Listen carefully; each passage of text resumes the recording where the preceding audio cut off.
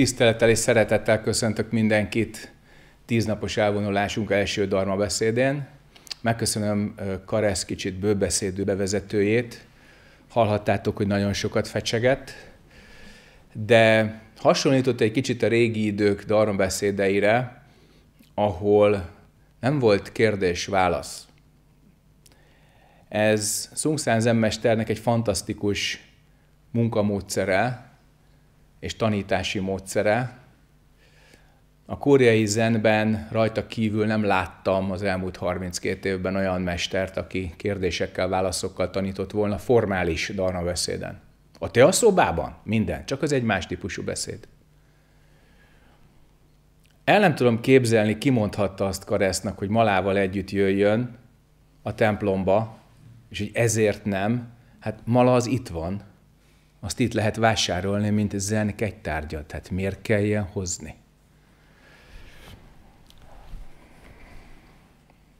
Úgyhogy a tíznaposnak a bemelegítésén vagyunk túl, mindenki már kapott interjút, és amennyire fontos a Kuhan praxis, ugyanannyira fontos a te kognitív térképednek a feltöltése. Miért?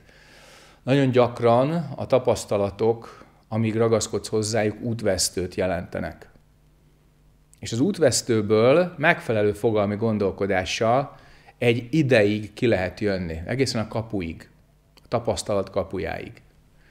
Ha jól van fölépítve a fogalomvilágot, hogyha megfelelő ismeretekre és tapasztalatokra támaszkodik, akkor el tudod engedni a tapasztalatot úgy, hogy annak a teremtettségét belátod. Ha nem, akkor a tapasztalat visszahúz, és akkor elkezd a múltad meghatározni, az önképed meghatározni, mások véleménye meghatározni, a jövőtől való aggodalom esetleg. Hogyan szabadulsz meg? Mi történik veled a csendben? A csendben csend van? Vagy pedig kívül nem történik semmi, és belül üvölt a karmád esetleg több csatornán? Tehát a nirvána, a megszabadulás, a nem mozdulás, az csak akkor érhető el, hogyha elvágod a fogalmi gondolkodáshoz fűződő kötelékeidet, de csak akkor, ha már azt kihasználtad a megfelelő mértékig. A nyugat a logosz betegségig hajlandó ragaszkodni a szavakhoz és a fogalmakhoz. Azonosulni a képzetekkel, beleértve a saját magunkról, a másik emberről alkotott képet, és ezért fogalmak és gondolatok nélkül nem tudja a nyugati kultúra elképzelni önmagát. Cartesius mester, ugye, gondolkodom, tehát vagyok. És most közel 400 év távlatából Cartesius mesternek egy kérdést teszek föl. Most meghaltál?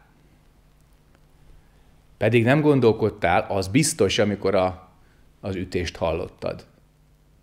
Képzelj el egy akkora ütést, ami a te gondolkodásodat is elvágja. Hány kilotonna az? Valakinek a csend is elég, hogy elvágja a gondolkodást, mert annyira finom a háló szövedéke belül. Van, akinek többszörös baleset és katasztrófa sem elég ahhoz, hogy a saját önképét levágja magáról. De mekkora szenvedés kell, mekkora robbanás kell, mekkora ütés kell, hogy végre a narratívád megszakadjon belül és lásd a teremtettségét, nem azért szakítjuk meg a narratívát, mert az bűn, hanem azért, mert olyan, mint amikor a kígyóra lábakat festesz.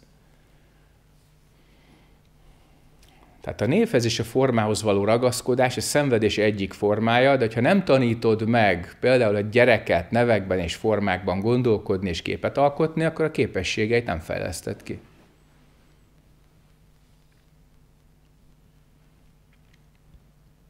Úgyhogy hogy tapasztalod a kettősségeket? Hogy tapasztalod az egységet? Hogy tapasztalod a formát? Hogy tapasztalod az ürességet? Bármelyikhez ragaszkodsz, a pokorra jutsz. Kinek van kérdése? Meditációban, hogyha felmerül egy tudattartalom, és az egy olyan dolog, amiről úgy érzed, hogy igen, tudod, hogy el kellene engedni, de ha elengeded, akkor mindent elveszítesz. és ezért visszarántod. Mindent? Igen. Az elengedő és az elengedett azonos vagy különböző? És még? Ez nem old meg semmit. Visszautasítod a megoldást. Már amikor ütöttél, akkor se volt meg. Így van. Jó zentanítvány akartál lenni, de most nem sikerült. Nem, nem akartam jó lenni. Hát akkor. Ez a válasz. nem. Nem ez a válasz. Az a válasz, hogy abban a pillanatban, hogy elengedted, különböző. Amikor ragaszkodsz hozzá, akkor azonosulsz vele. Tehát az nem egy robotszerű programozott válaszadási mechanizmus. Nézd meg, hogy pontosan milyen helyzetben vagy, mire kérdezel rá. Tehát például egy gyereket meg kell tanítani megkülönböztetni, és nem azt mondjuk, hogy a koszos és a tiszta egy lényegű, csak jelenségében különbözik, hanem azt, hogy ezt megeszed, azt nem eszed. Ez koszos, ez tiszta, ez mérgező, ez egészséges. Tehát a megkülönböztető bölcsességet meg kell tanítani, nagyon magas szinten, és az annak a meghaladása lesz az egységtudat. Ebben az esetben az elengedő pont önmagát nem veszíti el, hanem csak azt, amit elengedett, és ezért különböző. Ezt fogd föl, mert nem vagy hajlandó belátni azt, hogy az elengedő és az elengedett különbözhet, és itt most különbözik. És amit elengedtél, azt nyugodtan engedd el, mert az nem te vagy. Amit elengedek, azt nem akarom elengedni. Az a baj, azért teszed fel úgy a kérdést, hogy ne legyen rá jó válasz. Nem akarod elengedni. Meg tudod tartani? Már nem. Akkor miért ne akarnád elengedni, ha nem tudod megtartani? Mert ez az utolsó kapocs hozzá. Nem. Nem ez az utolsó kapocs hozzá. Nem a ragaszkodás az utolsó kapocs. Mi az utolsó kapocs? Miben segíthetek? Ez az a lépés, ami ilyenkor hiányzik. Neki már nem tudom ezt mondani. De minden lénynek tudod ezt mondani. Minden lénynek. Akár testben van, akár testen kívül. Ezt jegyezd meg. Mert akkor a kapocs csak ragaszkodás lehetne. Akkor csak a kötésben van a megoldás, és csak szenvedés lenne. És nem lenne megszabadulás, nem lenne bodhisattva út, nem lenne az, hogy a felébredéshez segítjük a lényeket. Miben hiszel? Most ne nekem mondd meg. Nem. Magadnak belül. Jó? Következő kérdés. Az lenne a kérdésem, hogyha a tudattartalmak elsősorban ilyen dallamok, akármilyen ilyen kompozíciók formájában jönnek fel, akkor melyik meditációs technikát ajánlanád? A Táncdal Fesztivált.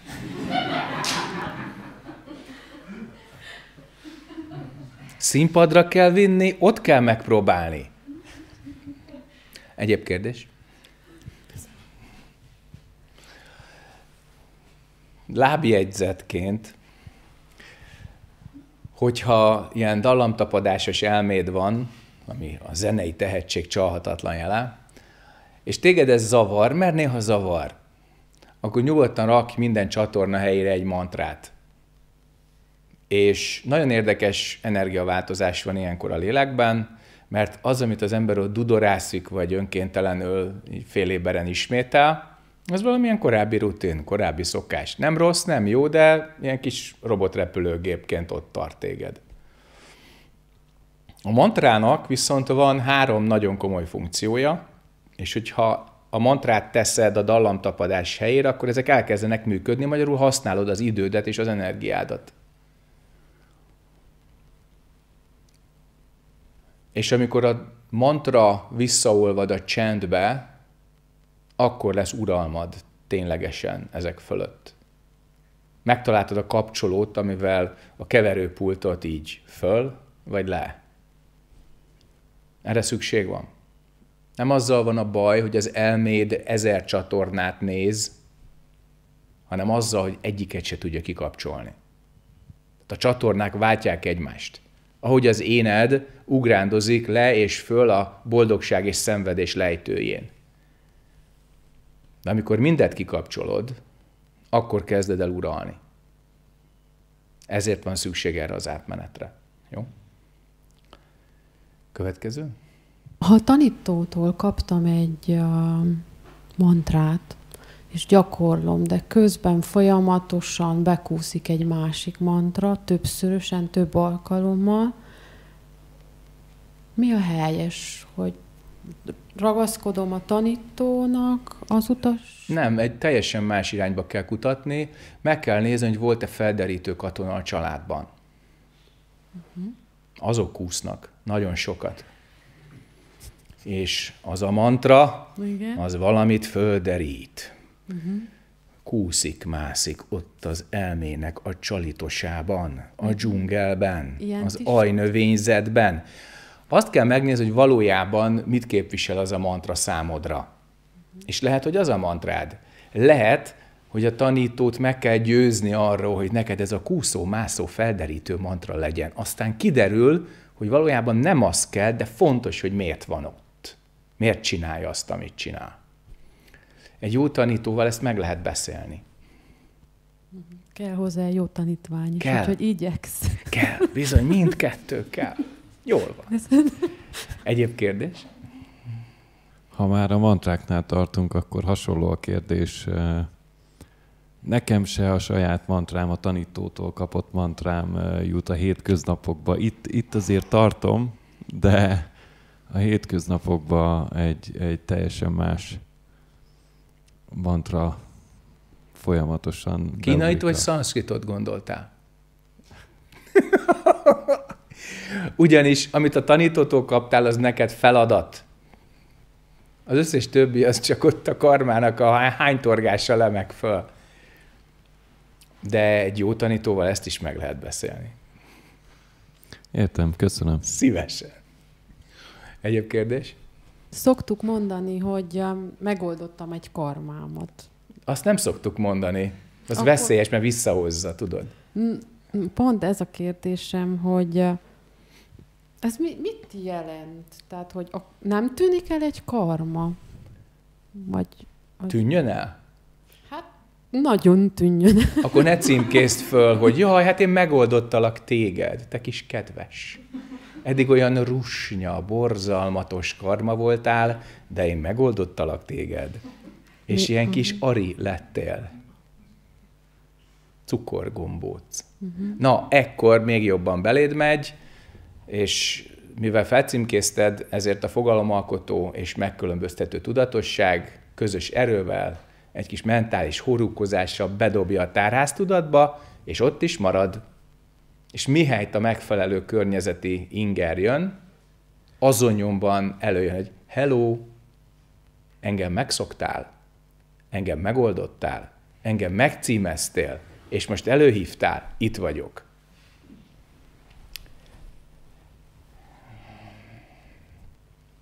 Régen, amikor még nagyon durva volt az emberiség, akkor a kivégzésük egyik legelfogadottabb módja az a lefejezés volt.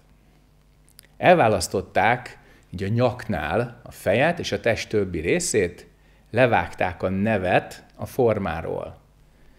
Így nem élt tovább a lény. Tehát ha te ennek a botnak elfelejted a nevét, akkor előbb-utóbb elfelejted a formáját is. Ha megvan a neve, előbb-utóbb meg lesz a formája is. Ha megvan a formája, előbb-utóbb nevet is adsz neki. Ezek a képzett társítások. Egy képzet akkor teljes, hogyha szanszkitul náma, rupa, név és forma. Az érző lény, az érzékszervhez kötött lény pontosabban, az a lélek és a test együtt. Jó, ha egy kis tudatosság is van benne, de hát ki tudja. Tehát a lélek és a test együtt, a hardware és a szoftver. Na most a kettőt szétválasztod, nem fut a program. Ha a név és a forma nem találkozik, a jelenség elfelejtődik.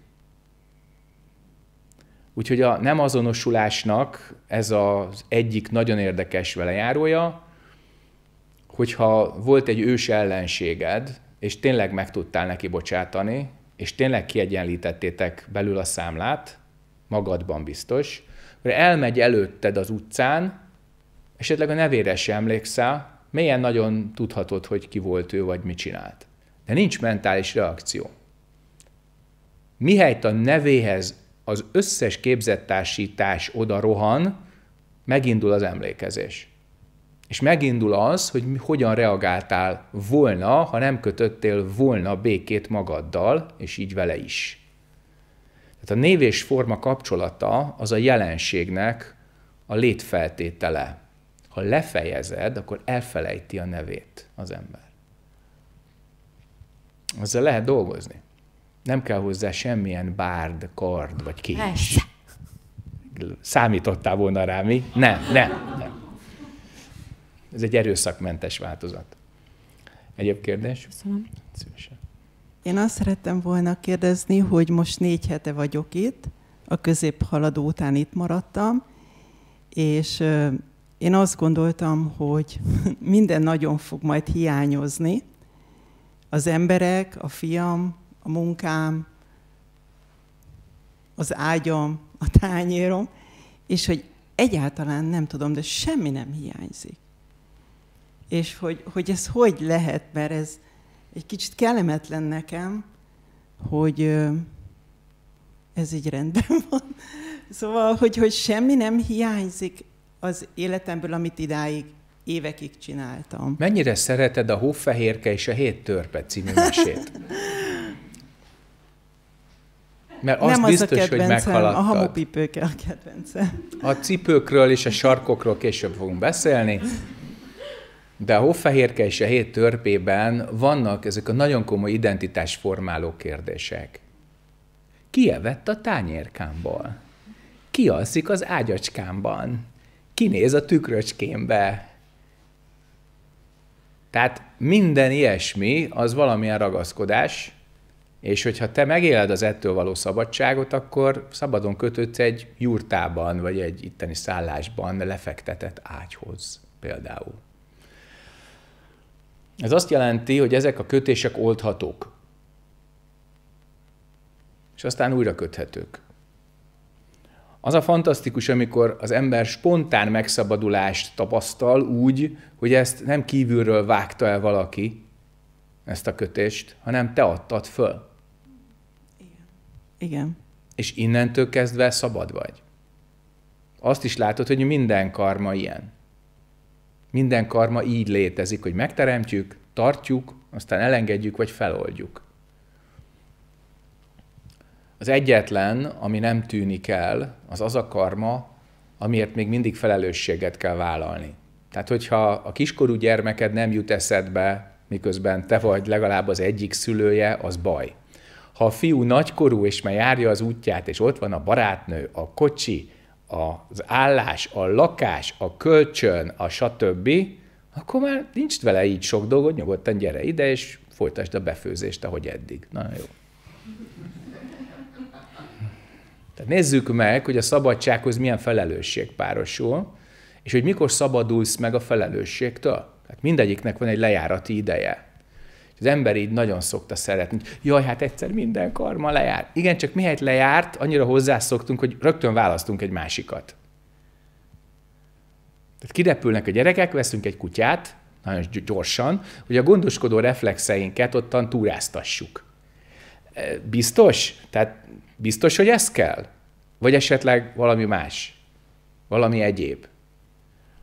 Hogy nézd meg, hogyha üresség keletkezik benned, akkor azt mivel vagy kivel óhajtod betölteni? Nem mindegy. És a felelősséget vállalás, illetve a felelősségvállalás, az azt is jelenti, hogy bizonyos emberekkel mi időt fogunk tölteni, mert közös a felelősség. Például a szülők esetében. De akár zen tanítványok esetében. Tanító és tanítványi közösség esetében. És ez az idő véges. Tehát ne azt várjuk, hogy a felelősség szűnik meg, vagy hirtelen valami hatalmas szabadságom lesz, hiszen mindenki ide született erre a földre, mindenki emberi testben van, mindenki függő viszonyban van. Mit kezdünk az együtt töltött idővel. Milyen minőséget adunk ennek az időnek, amit egymással töltünk. És akkor itt már a szabadság és a felelősség valami egyébbe megy át. És azt hiszem, hogy erre az átmenetre szükség van. Nézd meg azt a minőséget, amit tapasztalsz magadban, mert azt a minőséget vetített ki a környezetedre. Olyan minőségű teret és időt adsz a másik embernek. Ezért nem mindegy, milyen tiszta tudattal létezel. Hamupipőkét később. Köszönöm. Egyéb kérdés? Nemrég tudtam meg, hogy mindkét nagyapám elvesztette egy-egy feleségét és egy-egy lánygyermekét is. Felkavart, és ennek kapcsán ugye picit próbáltam elmélyülni abban, hogy nekem milyen a, a viszonyom a női nemmel.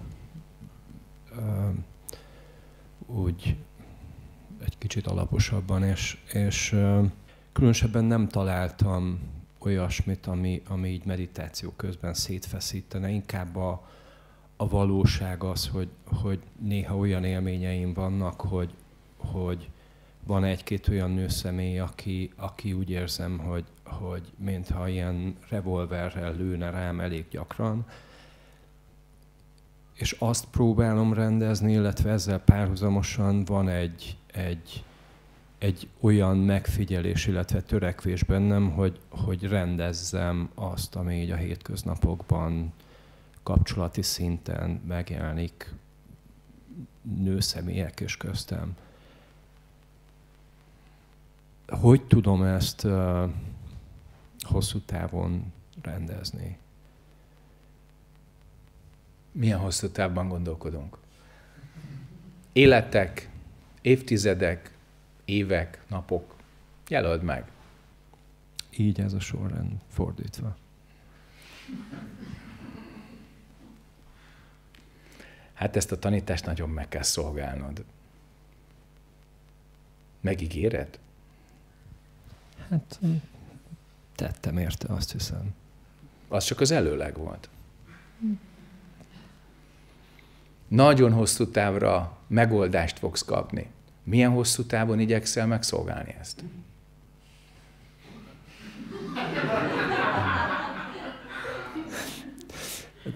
Nem tudom, lehet, hogy megnő a te hajad, és akkor, akkor A hajviseletről szeretnél beszélni? Nem. Na vállalj valamilyen időtávot. Amilyen hosszú távon szeretnéd megszolgálni a megoldást, olyan hosszú távú választ kapsz.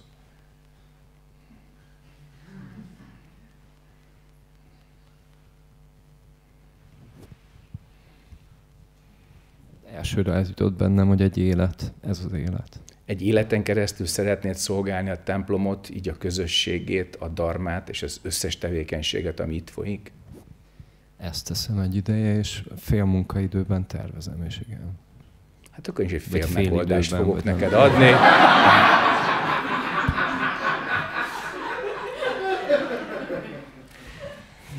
De tehát a, a melbőséged rendben van, de a hajadra céloztam, hogy, hogy én, én nem, nem azt érzem, hogy, tehát, hogy egy férfit tisztelek benned.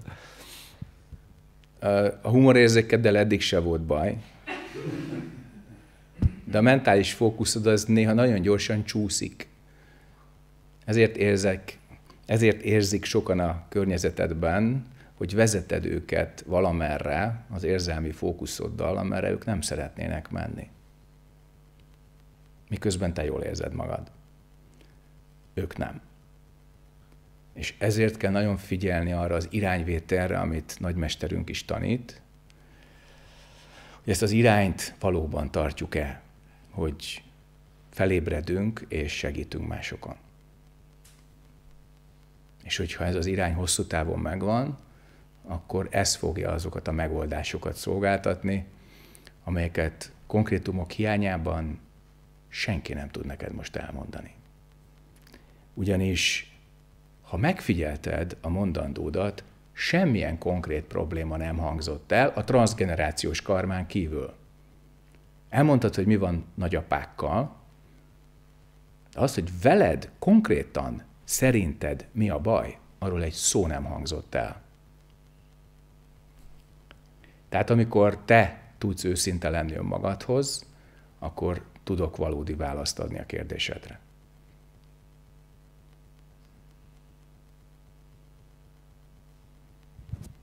Én nem éreztem őszintétlennek magam. És a részigasság, azt... őszintesség? Ezekben nagyon jó vagy. Tehát a részigasságokat fantasztikusan adod. És ha ezek részigasságok mások számára is, akkor az őszinte. De hogyha a részigasságokat úgy tálalod, hogy az mások számára teljesnek tűnik, ott hiba van. És itt talán megfoghatod a karmádnak egy nagyon sikamlós fogantyúját, hogy a kommunikációban az emberekkel nem csak, hogy mit értetsz meg, hanem hogy mit éreztetsz meg, és amit megéreztetsz emberekkel, abban van ez az eltérés. A részigasság és a teljes igazság közötti eltérés. Ezekkel nagyon vigyázni. Emlékszel, hogy három évvel ezelőtt a téli elvonuláson, a konyhában először mit mondtam neked? Nem. Vigyázz az érzelmekkel, mert nagyon tudsz emberekre hatni általuk. Ezeket az érzelmeket egyfajta vívőjárműként használod, hogy a gondolataid nagyon mélyre bemenjenek a másik ember lelkébe. Milyen gondolatokat viszel be? Milyen érzelmek által? Ez három éve a tanulmányaid része.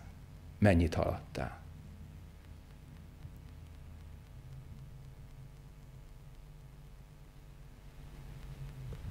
Köszönöm. Egyéb kérdés? Szó volt arról, hogy a felejtés is a tanulmányaink része. Ezt hogyan kell érteni? Mit kérdeztél?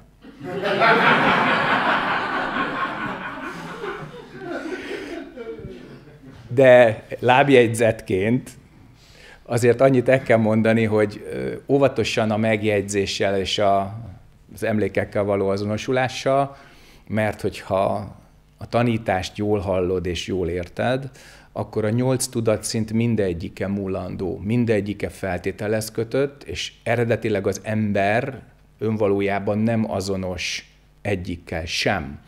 Tehát a tárháztudat, a megkülönböztető tudat, a fogalomalkotó tudat, az alatt lévő öt fizikai érzékszervi sík, ami az avatárunkat adja, eredetileg ezzel nem vagyunk azonosak. Tehát az az emlék marad meg, amiben energiát fektetsz. Amiben nem fektetsz energiát, az elporlad. És itt tudom, hogy egy rakás misztikus tanítás az így hörög és üvölt. Hogy nem, az ezen a síkon megmarad, az azon a lemezen megmarad, az itt a térben megmarad. Igen, és a tudatod, az hum van. Tehát amikor arról van szó, hogy te nem teszel energiát a nyolc tudatszint valamelyikébe, akkor az az energia felszabadul, és mást fogsz vele csinálni. Ha nem veszel el a múltban, akkor maradsz a jelenben. Ha nem mész előre a jövőbe, akkor itt a pillanat tiszta. Hogyha az emlék nem kísért, mert például érzelmi energiát nem teszel egy múltbéli traumába, akkor előbb-utóbb megszabadulsz tőle. És bizony, van gyógyító felejtés. Nem amnézia, nem a funkcióit korlátozása, hanem egy olyan felejtés, hogy amire nem kell, arra nem emlékszel. Példa, azt hiszed, hogy képtelen vagy rá? Uramisten, mindenki valahogy ide jutott csütörtökön. Emlékszel arra körülbelül egy órás útra, ami a város szélétől, mondjuk a főváros szélétől idáig vezetett? Hány részletet tudnál elmondani? Pedig végigvezetted, vagy végigülted utasként, de ezek a részletek annyira passzívak és annyira szükségtelenek, hogy a tudat ezeket kidobja. Mi van akkor, amikor torzít a megkülönböztető tudat, és nem enged a tárháztudathoz hozzáférni? Akkor van az a nóta, hogy csak a szépre emlékezem. Miért? Mert egyébként pont nem ez történik. Tehát a legdurvább traumák, a legrosszabb projekciók, a legkellemetlenebb egótüskék jönnek a felszínre, miért? Mert azokban van energia. Tehát az ember a dalocskával, hogy csak a szépre emlékezem. Ezzel kondicionálja magát, hogy lehetőleg ne a varrót szúrja bele a másiknak a senekébe, hanem tényleg helyel kínálja az életében, ahol mondjuk leülhet. Tehát az érzelmek polárisak. Azért azonosulsz velük, mert vagy pozitív, vagy negatív töltésük van, és így kötődnek az én képethez. Akár vágyott dolgok, akár taszított dolgok formájában. Ha feloldod ezt a polaritást, akkor megszűnik ez a mágnesszerű kötődés, megszűnik az átadott energia, és el tudod feledni őket. Hogyha ez nem így lenne, akkor már egy élet alatt, különösen ilyen információs szabadságban eltöltött, enyhén túláradó elmetartalom esetében nagyon hamar megkattannánk. Tehát az elme természetes öntisztulása egy bizonyos dolgokat, jelenségeket elfelejt. És ez rendben van. Tehát van olyan, hogy egy veszekedést úgy tudsz megoldani, hogy visszakérdez, hogy te emlékszel arra az önmagamra, akivel nem veszekedtél mondjuk egy fél órával ezelőtt? Én szeretném, hogyha az lenne a rólam alkotott kép, mert a mostani az használhatatlan. Egyik sem igaz, de legalább az legyen benned, amivel nem veszekszel. Na, tehát ezek nagyon fontos kérdések, mert ezekből áll össze az identitás, az én élmény. Tehát a tudatosodásban benne van a lélek öntisztulása, mert állandóan megbetegítenénk magunkat és másokat. Hát az, amit nem tudsz például a tudattalamból se a felszíne hozni, se elfelejteni, az a szomatizált karma, abba betegszel bele. Értjük? Ezért van mondjuk egy ö, megszabadulás irányú, tehát az ürességet tapasztaltató, tehát a nem kettősséget hangsúlyozott annak, óriási jelentősége azért, hogy a lélek öntisztulása és így a szervezet öngyógyítása aktiválódjon. Úgyhogy ami nem kell, nyugodtan szólt ki. Nyugodtan. Ne félj attól, hogy nem emlékszel arra, amire kell. Jó? A szívszutra azt mondja, hogy nincs öregség, nincs halál, nincs szenvedés. Mm, szívszutra sincs. Oké. Okay. Jó, akkor folytasd. Rendben van.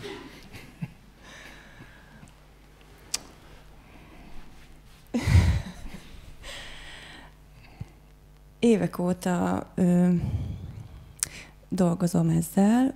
Ö, nagyon sokat segített nekem már ez a, a gyakorlás, a, a szívszutra is tulajdonképpen.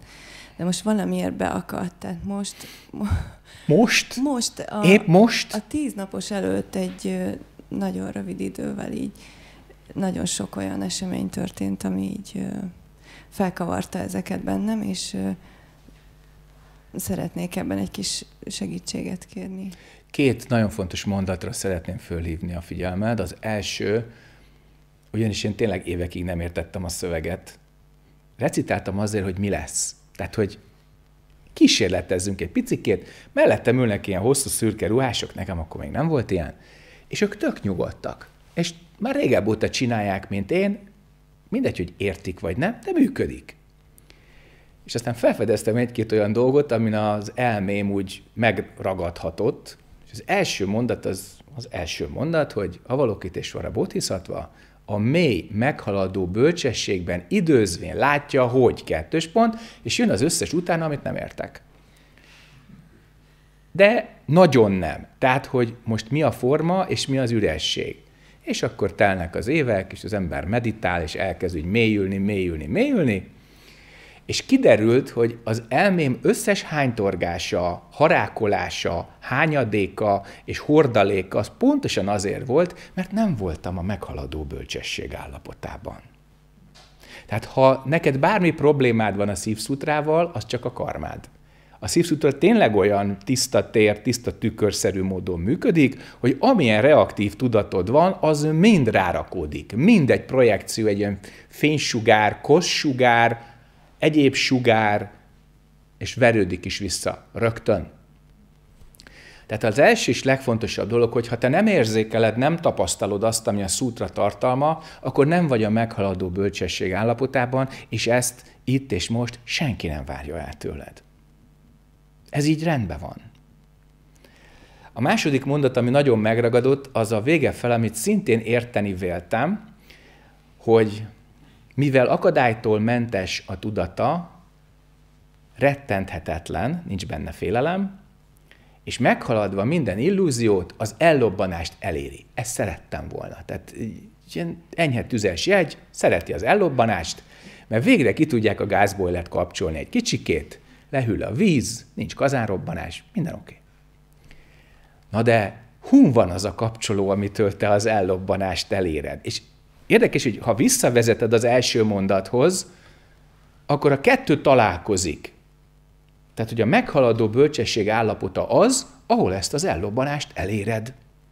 És ehhez ez a gáté, gáté, paragáté, parasamgáté, bodhiszvá mantra, az egy nagyon jó útmutató, egyben tapasztaló, ugyanis ha átjutsz a nem gondolkodás vagy nem kettősség kapuján, akkor fel tudsz ébredni mindazon illúziókból, amelyek fájnak, illetve szenvedtetnek.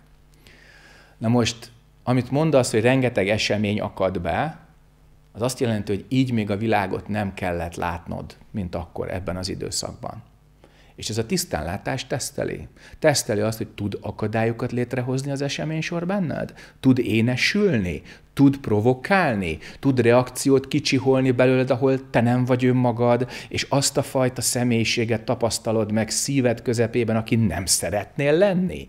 Bizony, ilyen előfordul mindannyiunkkal. És ekkora meghaladó bölcsesség állapota azt jelenti, hogy mantra, mantra, mantra, mantra, mantra, és egyszer csak tükörszerűen tisztán látod, nincs dualisztikus reakció, az egész, mint egy ilyen puzzle halmaz elkezd a helyére hullani, és meglátod azt, hogy te ebben hogy veszel részt. Ez a legdurvább, hogy a legkellemetlenebb, látszólag leginkább mástól kívülről jövő karmák hogyan váltak a te teremtéseddé. Hogyan járultál te ehhez hozzá? És hogyha azt az egy százaléknak tűnő részt, ami a te teremtésed ebben kiveszed, az egész valamilyen mágikus módon összeomlik, ugyanhogy van. Tehát pont ilyenkor kell tudatosítani, hogy eredetileg nincs szem, fül, orr, nyelv, test, értelem. Nincs hang, szag, íz, tapintás, tudati folyamat. Ezeket mind teremtjük. Mind teremtjük. Tehát a teremtés előtti állapotban, az ügyesség állapotában minden formának a létmódját látod, a belsőt is, meg a külsőt is. Hogy a pszichéd hogyan hozza létre a lélektartalmakat, és a mentális projekciók kint a térben, a formavilágban hogyan hozzák létre az ehhez tartozó karmákat. És itt azért borzongok, és aki ezt tapasztalta, szintén borzonghat, mert ez borzalom. Tehát mennyire nem látjuk ezt a teremtést, ami a szenvedés okának a kifejtése a négy nemes igazságban, a létezés 12 rétű láncolata, ami úgy kezdődik, hogy avidjá, vagy nem látás. És az avidjá, mint nem látás adja az szó szerint a vrittiknek, az örvényeknek, vagy hullámzásoknak a mentális formációit. Ez az, amikor elveszítjük a szellemi autonómiánkat. Ez az a pillanat, amikor a karmát öntermészetűnek látod. Ez az, amikor azt hiszed, hogy nincs uralmad a gondolatod, az érzelmeid, és ezért mások gondolatai és érzelmei felett sem. Ezek a tesztek. És ahhoz, hogy a külső ellentmondásokat, paradoxonokat tesztként lásd, és át is menj rajtuk, ehhez kell a koan praxis. Ugyanis ott mentálisan sokkal jobban meg vagy gyötörve, jobban ki vagy képezve, mint odakint bármilyen normálisnak mondható szélsőség a mindennapi élet garád dicsain. Okay? Tehát azért kell ilyen elképesztően égbe kiáltóan nehéz koanokat megoldani, hogy esélyed legyen az életben kezelni például az ilyen helyzeteket, amelyek ha váratlanok, ha előrelátottak, akkor is nehéz nem azonosulni, nehéz nem reagálni.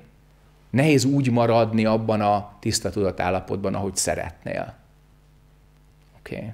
Ehhez kell tényleg a szívszutra, és ez az a fajta meditáció, amely tényleg megerősíti a középpontot, letisztítja a teret, törhetetlenné teszi a tükröt. Jó? A tükör eredetileg törhetetlen. A mi öntési hibánk, az a repedés, az a buborék, ott törik. Ahol a hamis azonosulás van. Ahol a helytelen önkép van. Ahol a teljesen elfogadhatatlan világkép van, ott szoktunk törni. Ott van a trauma. És egy trauma addig ismétli önmagát, amíg teljesen tudatossá nem válik. Addig kapja az ütést a tükör a leggyengébb pontján, amíg megtanulja ismét a törhetetlenséget. És a törhetetlenség nem érzéketlenség. Ezt már mindenki tudja itt. Oké? Okay? Köszönöm. Szívesen. Az előbb a felejtés áldásos hatásairól beszéltél. Viszont mi van olyankor, hogyha olyan dolgokat felejtünk el, amire szükségünk volna? Téged hogy hívnak? Nem tudom. Hát akkor elfelejtetted, pedig szükség van rá. Ilyenkor mit csinálsz? Hát általában ilyen. Most mit csinálsz? Beszélek. Reménytelen. Mondjad, most már mindegy, most már azt mondsz, amit akarsz. Mondjad. Szóval olyan dolgokat felejtek el, amire szükség volna. Mondjuk egy kamera beállításra lehet, hogy fél év múlva nem emlékszem, pedig... De ezt azelőtt se tudtad. Épp kellene. De van, amit édesapámnál ugyanez, tehát, hogy van, amit megmutatott, hogy ezt így kell csinálni, következő alkalommal fél év, egy év, teljesen mindegy, már megint nem tudom. És ezek, ezek konfliktusokat szülnek általában. Valahol ott van, megtanultad, ott van, csak az elérési út az vált egy kicsikét kacskaringossá. Tehát ez amikor az érzelmeinket például nem úgy éljük meg, ahogy azt korábban megéltük, mert mondjuk polarizálódtak, vagy olyan ismereteink voltak, amiket nem tudunk előhívni, mert az odavezető út például gátlásossá vált. Tehát ezt kell letisztítani, az emléket azzal, hogy mi ez, hogy működik. És hogyha felteszed a kérdést, hogy mi ez, vagy esetleg hogy működik, akkor mindaz, ami ott akadályként felhalmozódott, és egyébként irreleváns, mert nem a működés, nem a miben lét, az előbb-utóbb eltakarodik az útból. Meg kell maradni a kérdés állapotában. Hát én ezt rendszeresen gyakran, hogy hova tettem az iroda épület kulcsát. És nem mozdul, nem mozdul. Tudja, hogy bármit, bármilyen, az hülyeség. Ne, nem, nem mozdul. Tehát, hova tettem az iroda épület kulcsát? Itt van, köszönöm szépen. De hogyha gondolkodom, nem találom meg. Ha nem gondolkodom, megtalálom. Tehát korábban, még zengyakorlat előtt jóval emlékeztem, hogy ilyenkor ugye az elme így, mint a kis majom, így röbdös a dzsungel tízezer fáján, és sehol nincs az, amit keresel. És az elme egy önkorrekciós mondatot kitalált, azt, hogy ne ott keresd, ahol nincs, ott találd meg, ahol van. És képzeld el, működik. Tehát amennyire bullshitnek hangzik, az összes ilyen pótcselekvést így lesarabolja, és akkor ott, yes sir, ott találd meg, ahol van. Na, itt van az átment a mantrához, hogy váljál te buthává. Yes sir, nem tudom, hogy kell csinálni, de akkor is. Én buthává válok, mert az volt a parancs. Tehát ezt valahol belül teljesen akadálytalanná kell tudni tenni, és itt van megint a szútrának a szerepe, hogy ha nem félsz tőle, akkor előbb-utóbb akadálytalanná válik az elérési út. Általában a félelmeink szokták eltorlaszolni az utat. Ismerős? Nem tudom, mire gondolsz. Akkor én se. Jó? Rendben, köszönöm. Szívesen. Egyéb kérdés? Viszonylag nem régóta gyakorlom a zent, viszont az első élményem az, hogy nagyon otthonos érzés. Leginkább Akkor azért... valamit rosszul csináltam. Aj, te! Leginkább azért, mert az ember olyan lehet, amilyen. Tehát egyrészt. Másrészt meg pont azon gondolkodtam, hogy a világ nagyon nem így működik, mint ahogy amit gyakorlok. És uh, évtizedek munkája van abban, nem biztos, hogy persze jó az irány, de, de hogy jól tudjak kapcsolódni, vagy tudjak egyáltalán kapcsolódni, hogy ugyanúgy tudjak működni, mint, mint, mint a világban az emberek. Na most Te pont tényleg ezen- ezt szeretnéd? Akkor miért vagy itt? Nem, Tehát nem, nem, kell de menni pont- a világba, meghemperegni a mocsárban, pontosan ugyanúgy fogsz te is itt metángázt fölfelé bugyborékolni, mint mindenki más. Hát akkor Viszont ugye pont nem ezt gyakorlom, ráadásul, ráadásul úgy, hogy igyekszem a hétköznapokat is, tehát a hétköznapok perceit is öm, ugyanazzal a tudattal, az vagy sikerül, vagy nem, de hogy, de hogy öm, mit tudom, én megyek a városba, és akkor Mi a kérdés? Hát az, hogy én aggódom egy picit, hogy visszamegyek, mert ugye egész nyáron elég sokat foglalkoztam ezzel, és akkor hogy fogok én működni? Egyrészt ugye ez a kérdés. így sehogy. Tehát ennyit gondolkodsz a működésről, akkor biztos, hogy nem fog menni. Mit akarsz csinálni? Az a helyzet, hogy lehet, hogy tényleg azért, mert az út elején vagyok, de annyi bizonytalanság van pont éppen ezért bennem. És honnan jön ez a sok bizonytalanság? Mondd már el nekem. Hát leginkább az, hogy az ember azt gondolja, hogy némi tapasztalatot pár évtized alatt összeszedett, és rájön arra, hogy igazából semmit sem tud. Kimondanék egy mondatot, alkotnék egy véleményt, de már vissza is nyelem, mert igazából az ellenkezőjét is ugyanúgy meg tudnám indokolni. Tehát én Akkor meg- akkora együttérzéssel hallgatlak téged, hogy nem fér be a terembe. Azt mondtad, hogy semmit sem tud az ember. És az asszony? Na, tehát amikor... Az Tehát ha tényleg semmit se tudol, akkor ott nincs kétség. Amikor van is tudás, meg nincs is. Jó is, meg nem is. Úton is megy, meg nem is. Hoz is ajándékot, meg nem is. Fel is van öltözve, meg nem is. Meg is szólal, meg csendbe is marad. Na, ott van a kétség. Hát tessék a sok-sok kicsi kétséget összerakni egy hatalmas nagy paradoxonná. Egy nagy bálnányi paradoxon a sok kicsi kérdés planktonját mind megeszi. Tehát az egyetlen egy kérdésbe tér vissza tízezer kicsi kérdés.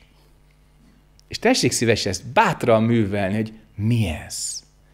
És ez a kérdés odarántja az összes többi apró cseprő kis inci-finci kognitív karmát, mint mágnes a vasseszeléket.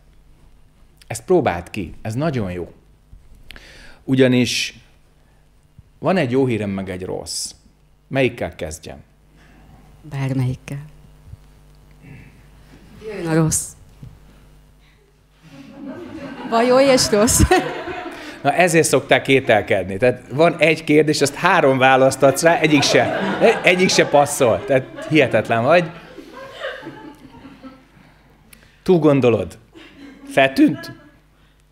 Remélem feltűnt. Annyira túl szoktad gondolni, amennyire okos vagy.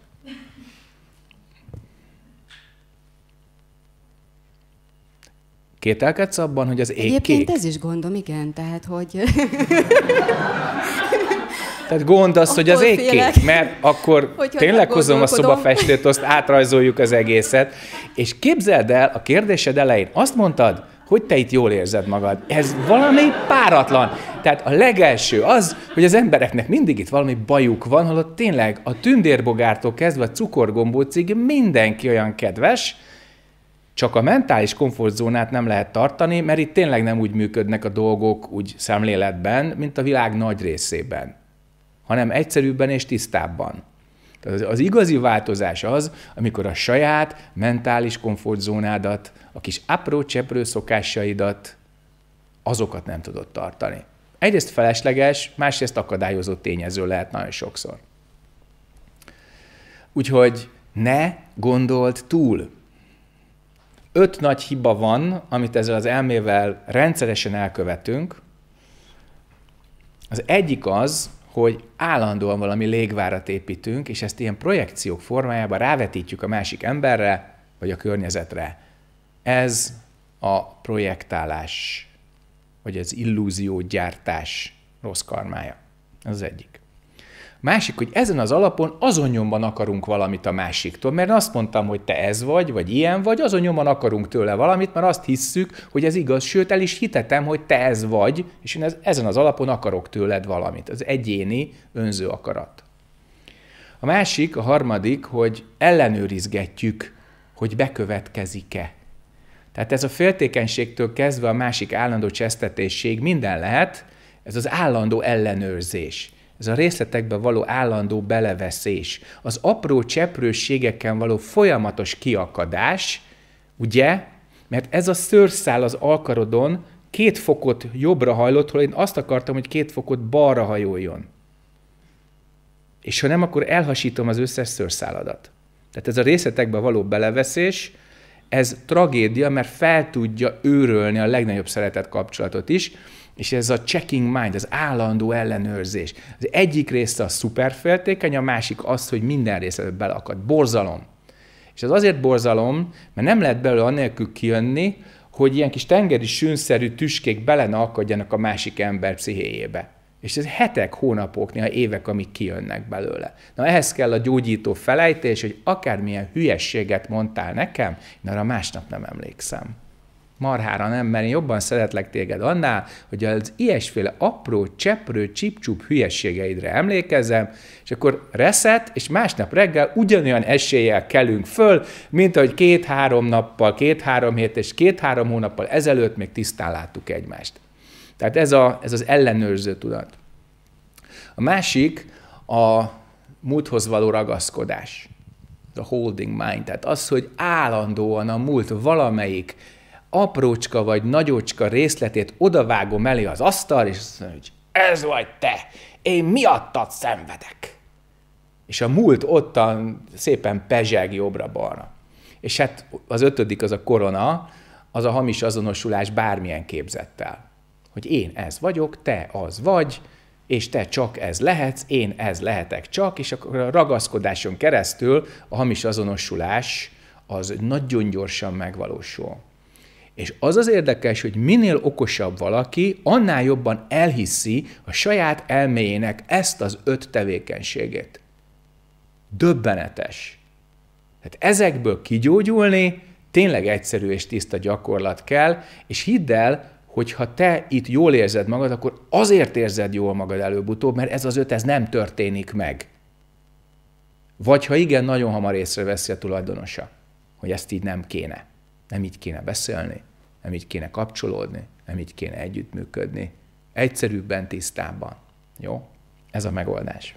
Lenne egy egyszerű kérdésem még. Az előző ö, elvonulás után gyanútlanul hazamentem, és azt tapasztaltam, hogy ö, gyakorlatilag teljesen fel, tehát nagyon nehéz volt a struktúrát tartani az életemben. És a legalapvetőeket is. A, a saját a... lakásod födém szerkezetére gondolsz, Így vagy van. pedig valami egyéb struktúrára? Ö, hát a napirendre. Tehát, Aha. Hogy, ö... Mi volt, hirtelen 4.40-kor fölkelt mindenki? Vagy hogy? Nem. Én, én nekem össze-vissza lett minden. Tehát, Össze-vissza lett minden. Igen. Nem volt moktak, szerintem pont ezért.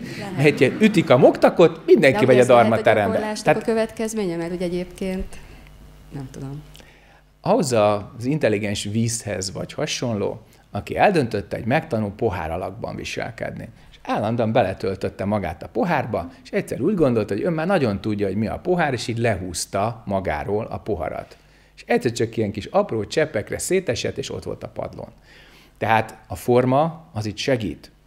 Te kidolgozhatsz magadnak egy világi napirendet odakint a templomon kívül, amely a megszólalásig hasonlít erre a struktúrára, ez e, teljesen szabadon átruházható intellektuális tartalom, tehát nyugodtan felhasználhatod. Tarts rendet az egyéni gyakorlatban is kicsit komolyabbra fordítva a szót, mert az egyéni kiscsoportos és nagycsoportos gyakorlatból áll össze a Zen Ovi ez nagyon fontos. És onnantól kezdve, hogy te eldöntötted, hogy valamilyen napi rendet tartasz, az meg tud ám tartani ám rendesen. Tehát nagyon komoly megtartó ereje van. Miért? Ha megnézed a civilizációknak, kultúráknak a mély szerkezetét, mit szabályzott mindegyik? A naptárt. És a naptáron belül a napi rendet, tehát az ünnepek rendjét, a munkák rendjét, Miért van négy hét egy hónapban? Miért hét nap van egy hétben? Aki nem érti a holt hónapokat és a holt fázisokat, nem tudja. Tehát miért van 365,1 negyed nap egy nap évben? Ott nem mindig volt ennyi. Lásd Gergely naptár, meg Julianus, meg hasonló. Tehát megfigyeljük, hogy hogy működünk ebben a makrokozmoszban, és abban kialakul a mikrokozmosz, az a fajta belső rend, ami ezzel szinkronban van. Tehát általában reggel szoktunk fölkelni, persze vannak kivételek, amikor kicsikét véreres szemmel délelőtt közepén, de ezek a hétvégi bulik. Tehát általában reggel kellünk, mert a nap is akkor kell. Triviálisnak tűnik, de erre van szükség, hogy a te életrended és a világrendje valahogy találkozzon. Tartsd meg! Tartsd meg, amit te megfelelő életrendnek megismertél, és akkor minden rendben lesz, még akkor is, hogyha egy kicsikét eltérsz tőle, utána rögtön visszatérsz. Van benne tolerancia kellőképpen. Különben más lények nem férnének bele. Oké. Okay. Egy hosszú párkapcsolatomnak vetettünk véget hét hónappal ezelőtt. Sokat dolgoztam az elengedésen és a lezáráson, azt hittem, hogy sikerült is mindent lezárni, egy papír és valamennyi közös tulajdon maradt, és azt hittem, hogy ez már a könnyű része, de nem így alakult, amikor megtudtam, hogy a volt párom hogyan szeretné ezt felosztani, ezt a vagyont, úgy éreztem, hogy újra kihúzzák a lábam alól a talajt. És az volt az első, vagy lehet, hogy a második gondolatom, hogy mit akarok ezzel megtapasztalni újra, és hogy ezt most miért csinálom magammal, és ezt még nem jöttem rá. Hát ezt most nagyon rosszul tetted föl, inkább veszítte az ember. Igen. Ügyvéd, egy, egy nagyon jó ügyvéd ilyenkor. Jó. Tehát a nyugati társadalmak akármennyire is elgépiesedettek és technizáltak, eléggé anyajogúak. Tehát ez egy csomó mindenből következik. Tehát aki itt férfiként házasságot, életközösséget bont, mert már nem is kell a papír hozzá, elég, ha bizonyítja, hogy legalább négy évig veled élt, a férfi veszít. És ezt be kell áraznod magadban, hogyha te kapcsolatot így együttélés, közös vagyon, közös, közös, közös bontasz, a veszteség tudata nélkül nem tudsz kijönni belőle. De az az érdekes, hogy a nőnél ugyanez van. Ő is azt érzi, hogy veszített, holott materiálisan ők szokták kapni a nagyobbik részét a, a vagyonnak, mert ők a feleség, az anya, stb. stb. Innentől kezdve azt kell megnézned, hogy egy, valójában mit szeretnél. Tehát, ahogy a nagymester mondta, menj egyenesen. Ez nem azt jelenti, hogy te ne járnál egyenes úton, de ha te leszúrod a korábbi önképet a talajba, akkor előbb-utóbb az egy gravitációs középponttá válik, és elkezdesz körülötte keringeni, régi én, régi párkapcsolat szokásrendszere, mintázata, egyre erősebb lesz, egyre közelebb mész, és mint a fekete lyukba így belezuhan az űrhajó és akkor újra ismétled a kapcsolatot, ez az, amikor vállás után elkezdenek randízni, mert annyira megszokták egymást. Tehát ez a se veled, se nélküled általában a házasság előtt, és hogyha a házasság hosszú évei, évtizedei után vállás van, akkor keresztül mennek poklokon, hogy végre az egyéni szabadságukat visszanyerjék, és utána elkezdenek randizni. Tehát az ember amennyire ilyen bölcsnek tűnő, meg magát szapiensnek mondó lény, olyan elképesztően irracionálisak és önsorsontóak tudunk lenni. Borzalom. Hát meg kell fogadnod, hogy te ezt többet nem. És ez a fogadalom az egyetlen, ami kivezet innen. Semmi más. Hogy te megfogadod, hogy ő vele többet nem. Ez megtörtént. Megtörtént? Hát akkor nem tennéd fel a kérdést, ha megtörtént volna valójában belül nem történt meg, hiszen az ellentmondás fölállt, ahogy elmondtad. Tehát valójában pillanatról pillanatra mi az utam, mit akarok, és amikor ez a veszteségbe következik, akkor nézd meg, hogy a veszteség által te mit kapsz. Mert mindennek megfizetjük az árát, a szabadságnak is. Itt vesztesség nélkül nem jössz ki. Az a kérdés, hogy mit akarsz elveszíteni. Ezt meg tudod oldani, de vesztesség nélkül nem fogsz kijönni belőle. Döntsd el. Anyagi vesztesség,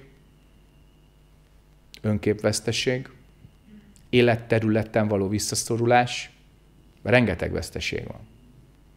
Nézd meg, hogy mi az, ami belőled főnix madarat csinál, vagy hullát. A kettő közt az a különbség, hogy az egyik föltámad az oltár tüzéből, a másik az az ember, aki nem mer már szembenézni önmagával esténként. ez a hulla. Oké? Okay? Valami vesztesség biztos lesz. A két siva aspektust tessék kibékíteni magadban. Egy adott karma esetében, ha meg kell szabadulnod, vagy tisztulsz, vagy pusztulsz. Ha ragaszkodsz a karmához, pusztulsz, ha el tudod engedni az identitást, tisztulsz. Ezt viszont teljesen te döntöd el. Ezt rossz szóval itt nyugaton úgy szok, hogy ó, hát mi tanulni való van belőle, az, az már rég megvolt. Húszszor megtanulhattad volna, mégse. Itt már nem tanulásról van szó. Itt már arról a dilemmáról, hogy tisztulsz vagy pusztulsz. Miért? Mert a következő körben ezt fogja eldönteni, hogy tisztítasz vagy pusztítasz. Ezért nem mindegy. Nem csak azért, mert a te lelki világod fontos, igen, fontos. De a lelki világot fogja a világgal, a többi emberrel, a családoddal, az új pároddal való kapcsolatot meghatározni. Ezért nem mindegy. Nézd meg, hogy mit akarsz elveszíteni. És azt úriasan gavallér módjára, lovagiasan, nyugodtan, tehát sőt, ajánt föl. És az, hogy ez például az anyagi, a jogi világban hogy működik, főleg egy eléggé feldúlt lelkiállapotban ezt nem lehet szakértő vagy ügyvéd segítsége nélkül rendesen megoldani. Már az, hogy olyan drágák óránként, már az összeszedettségre tanítja az embert, hogy nagyon-nagyon jól használja ki azt az időt, amit sok tízezer forintot kifizet már első körben. Aztán ez csak dagad. Jó? Köszönöm. Tiszta tudat, rendes ház, ne feledjük el. Ott. Én a kontrollmániával kapcsolatban szeretnék Leurallak. Kérdezni. Kész, leurallak úgy, ahogy vagy. szóval azt vettem észre, hogy a gyakorlással kapcsolatban elvárásaim vannak. Nem kicsi, igen. hogy, hogy milyen, gyakorolok... Mondd el, milyen, annyira rég ne, volt ne, ilyen ne, nekem, mondd el, na. Ne, kicsit elvesztem ebben, mert ö, hát ilyen fásultságot érzek, hogy hogy minek gyakorlok például, hogy mindig ugyanaz az eredménye, például a, a kanoknál is, hogy elvárom, hogyha most ennyi gyakorlok, tehát összerakja az agyom, akkor nekem ezt a kan meg kell oldjam. Elvárás, fásultság, tűzifa. Igen. Tehát a fásultságból tűzifa lesz, és egyszer csak el fogsz égni egy szenvedély tüzében, hogy újra életben légy, hogy újra úgy érezd, hogy neked valami speciális energiád van. Ezért ne fásulj el, Aha. mert a tűzifát a legrosszabb mágiákon szoktuk felgyújtani. És abból megint trauma, tökéletlenség, önvád és egyéb van, abból megint gyakorlat van, megint fásultság van, megint tűzifa. Tehát máshova kell kifuttatni a gyakorlatot, mint eddig, és ezért nem szabad elvárásokkal gyakorolni. Te ne várjál el magadtól semmit, az ég egyadt a világon úgy oldalba vágod a gyakorlatodat, mint nem is tudom elmondani. Hmm. Hát ez abból eredett szerintem, hogy mivel nem uralom, úgy érzem a saját teremet, vagy a sorsomat, vagy nem tudom, hogy mit, és hogy nagyon meg akarom fogalmazni, hogy minek hogy kéne történnie. Igen. Ezt kell feladni. Pont amit most mondtál, ezt így copy a szemétkosárba. Ugyanis itt egy olyan helyzetben vagy, ahol minden adott, nem kell külön megteremtened, pont azért, hogy lásd a karmádnak ezt az elképesztően tényleg control freak működését. Hogy mindent határozzunk meg, csak hogy az jó legyen. Nekem jó legyen. Igen, igen. És pont ez a rossz karmának a gyökere. És akkor Ismered ebből... azokat a rajzokat, ahol, ha így rájuk nézel, egy ilyen vonalrajz általában fekete-fehér mezők, ha így ránézel, egy gyönyörű hercegnő, Igen. megfordítod, és egy gonosz boszorkány. boszorkány. Uh-huh. Így működik a karma. Tehát erre nagyon tessék vigyázni, teremtesz valami elképesztően jót, a legmagasabb szintű elvárásokkal. Jön a pillanat, a kétségbeesés csapóajtója kinyílik, megfordul az egész, és így esés közben látod, hogy úristen. Tehát elvárásokat tessék félretenni. Itt De a helyzet hogy? úgy, hogy meglátod, hogy valójában milyen helyzetben vagy. Van tető a fejed fölött, matrac a feneked alatt, napi háromszori étkezés, tanítás két tanítótól is, tehát minden megvan, nem kell elvárni semmit.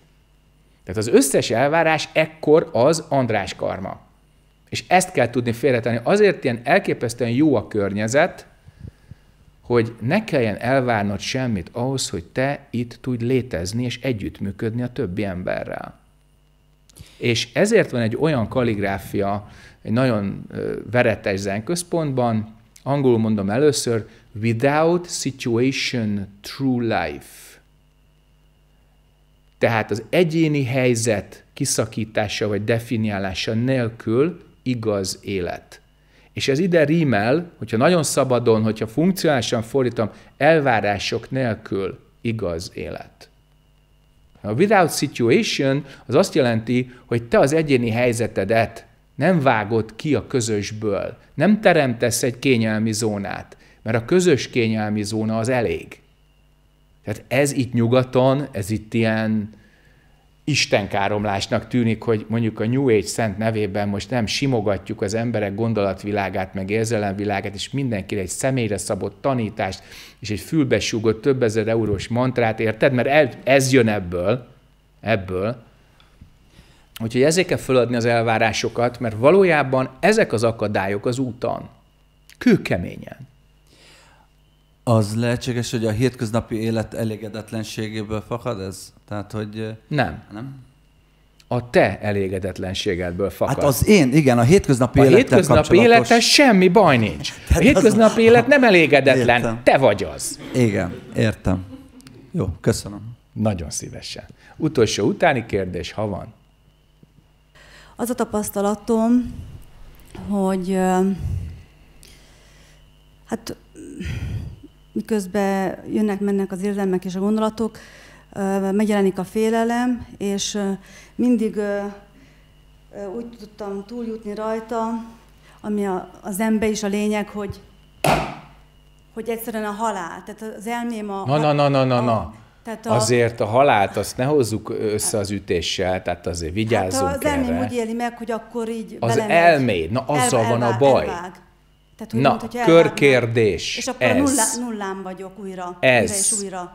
Élet vagy halál? Körkérdés. Helyes. Jó. Tehát azon nyomban az élet és halál minőségeit erről az ütésről tessék levakarni, mert olyan tévútra visz, hogyha rajta hagyod, hogy valami hihetetlen. Mi maradt? Mi maradt a kérdésedben? Semmi. Tehát a semmi a... sem maradt. Tessék egy normális választ adni. Mi következik ez után? Mi maradt a kérdésből? És még? A semmi sem maradt. Nem, ragaszkodsz az ürességhez, ez meg fog ölni. Azért érzed így. Mit hallasz? Csiripelnek a tücskök. Azt. Az marad a kérdésedből, hogy csiripelnek a tücskök, vagy mit tudom én, mit csinálnak ciripelnek. Nem ragaszkodunk az a nyomorult ürességhez, megértettük? Használjuk. A Dharma beszéd további részét a tücskök fogják megadni, tücsök nyelven, mert az nem félreérthető, érted? Na.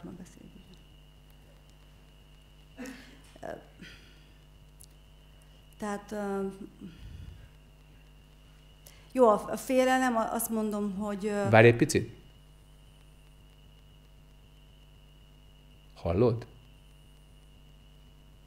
Egy új ciripelés jelent meg.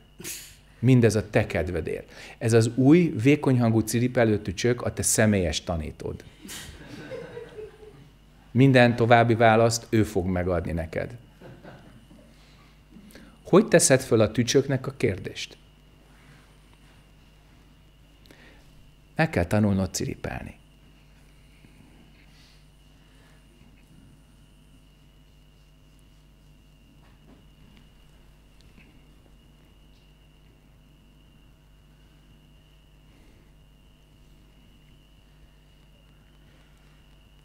Most ne roskadjál magadba. Nem roskadtam magamban.